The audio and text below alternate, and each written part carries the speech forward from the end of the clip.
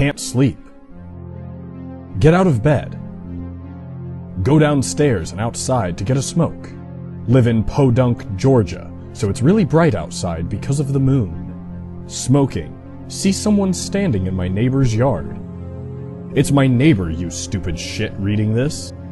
Wave at him. He waves? Arm is jerking left to right over his head. Probably stoned again.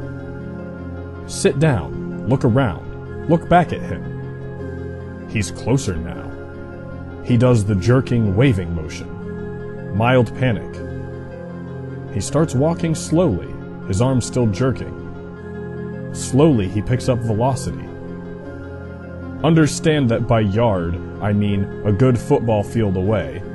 Starts sprinting with his arm jerking around towards me. Gut drops. Bolt inside, locked door. He starts banging on the window and door. I start screaming in absolute panic. Parents come downstairs. Dad's pissed. No one's at the door. Neighbor is gone. Two days later, his wife comes over crying about him missing. And that's the day I met a skinwalker.